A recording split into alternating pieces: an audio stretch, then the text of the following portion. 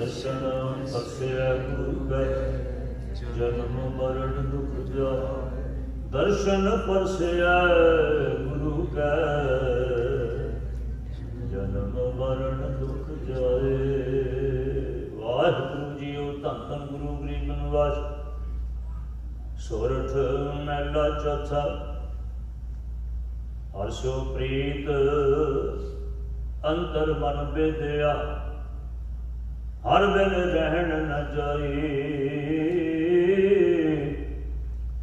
ਜੋ ਮਛਲੀ ਬਿਨ ਨੀਰੈ ਬਿਨ ਸੈ ਤਿਉ ਨਾ ਬੈ ਬਿਨ ਮਰ ਜਾਈ ਹਰ ਸਿਓ ਪ੍ਰੀਤ ਅੰਤਰ ਮਨ ਵਿਦਿਆ ਹਰ ਬਿਨ ਰਹਿਣ ਨ ਜਾਈ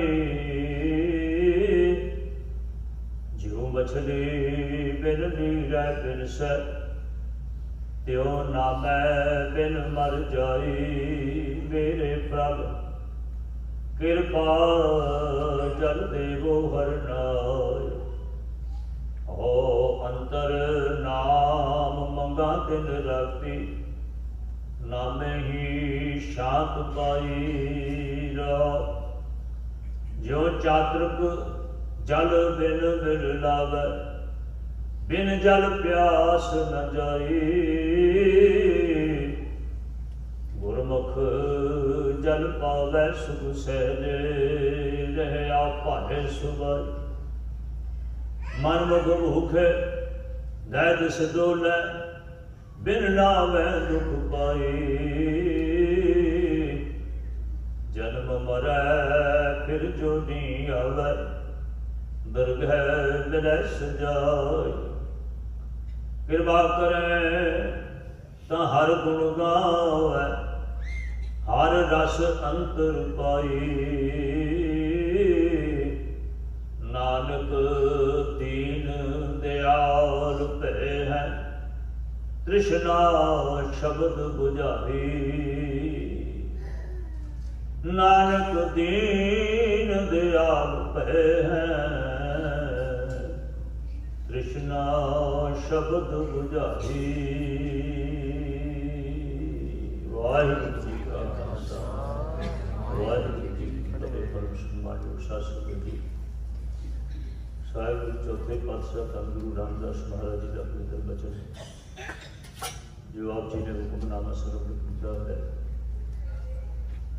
ਸਾਹਿਬ ਗਰੀਬਨਵਾਜ ਪਾਤਸ਼ਾਹ ਜੀ ਦੀ ਪਾਵਨ ਪਵਿੱਤਰ ਰਚਨਾ ਸੋਲ ਸ਼ਰਾਬ ਵਿੱਚ 607 ਪੰਨੇ ਉੱਤੇ ਅੰਕਿਤ ਹੈ। ਸਤਿਗੁਰੂ ਗਰੀਬਨਵਾਜ ਪਾਤਸ਼ਾਹ ਜੀ ਪ੍ਰਮਾਣ ਕਰਦੇ ਨੇ ਹਰਸ਼ੋ ਪ੍ਰੀਤ ਅੰਤਰ ਮਨ ਬੇਦਿਆ ਹਰ ਵੇਲੇ ਰਹਿਣ ਨੂੰ ਚਾਹੀਏ ਕਹਿੰਦੇ, ਮਾਲਕ ਜੀ, ਤੁਹਾਡੀ ਪ੍ਰੀਤ ਦੀ ਐਸੀ ਤੜਪ ਪੈਦਾ ਹੋਈ, ਉਸ ਤੜਪ ਨੇ ਅੰਦਰ ਵਿਧ ਲੱਗਾ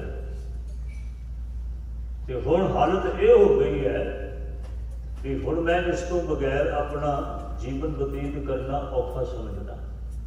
ਤੇ ਫਿਰ ਉਸ ਦੀਆਂ ਉਦਾਹਰਨਾਂ ਦਿੱਤੀਆਂ ਨੇ ਐਗਜ਼ਾਮਪਲਾਂ ਦਿੱਤੀਆਂ ਨੇ, ਕਹਿੰਦੇ ਜਿਵੇਂ ਮਛਲੀ ਪਾਣੀ ਤੋਂ ਬਗੈਰ ਨਹੀਂ ਜੀਵ ਸਕਦੀ, ਪਾਣੀ ਤੋਂ ਬਿਨਾ ਉਹ ਤੜਫਦੀ ਹੈ। ਮੈਂ ਵੀ ਉਸੇ ਤਰ੍ਹਾਂ ਦੇ ਨਾਲ, ਮਾਲਕ ਜੀ, ਬਿਲਕੁਲ ਉਸੇ ਰੂਪ ਵਿੱਚ ਹਾਂ, ਮੇਰਾ ਵੀ ਉਹੀ ਹਾਲ ਹੈ।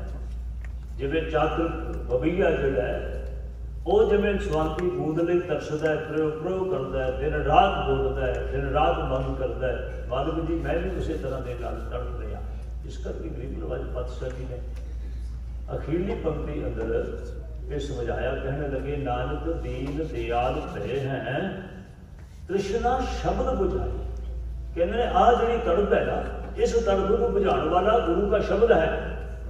ਗੁਰੂ ਕੇ ਸ਼ਬਦ ਦੇ ਨਾਲ ਹੀ ਇਹ ਤੜਪ ਖਤਮ ਹੋ ਸਕਦੀ ਹੈ। ਇਹ ਬਿਆਸ ਬੁੱਝ ਸਕਦੀ ਹੈ, ਇਸ ਬਿਆਸ ਨੂੰ ਅਸੀਂ ਮਠਿਆ ਕਰ ਸਕਦੇ ਹਾਂ, ਬੁਝਾ ਸਕਦੇ ਹਾਂ। ਗੁਰੂ ਕਿਰਪਾ ਕਰੇ ਅਸੀਂ ਇਹ ਦਾਤ ਪ੍ਰਾਪਤ ਕਰਕੇ ਜੀਵਨ ਦੀ ਸਫਲਤਾ ਪ੍ਰਾਪਤ ਕਰ ਲਈਏ।